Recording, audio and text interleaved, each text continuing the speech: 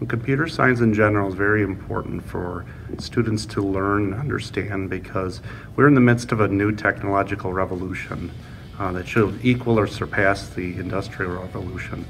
Uh, computing and, uh, and programming in general is used in every industry in America. Uh, there is literally not a single field that you do not need uh, uh, at least somebody who can understand how to program, how to write code, how to write websites. Uh, to fulfill that need, we offer um, many computer science courses, including AP Computer Science Principles. The focus of that is a, a broad uh, overview of all the topics in computer science. Um, there are seven big ideas that we cover, uh, and we do it in a collaborative and creative manner.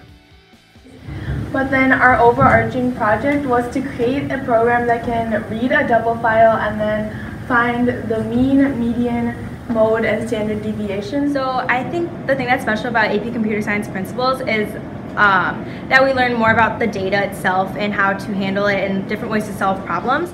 I think it's a lot different than just learning how to code and learning each line and just the logic behind it. It's more than just logic, it's abstract, so there's um, a lot of unique things to it. Well, in the past, I didn't have a lot of experience with computer science and programming.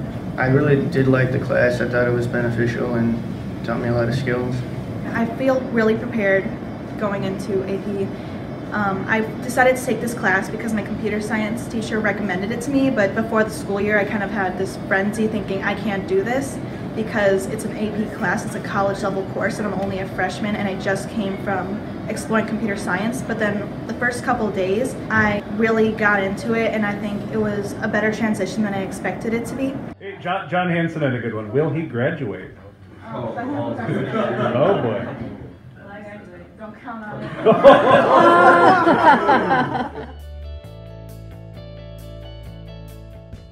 But uh, the reason I took this class is because I know that for my future career path, I'm going to need at least a basic understanding of computers and how to use them. I get to learn a lot of things I'm going to use in my future, no matter what profession that I go into, because I haven't really decided that yet. I know I'm going to use what I'm learning now.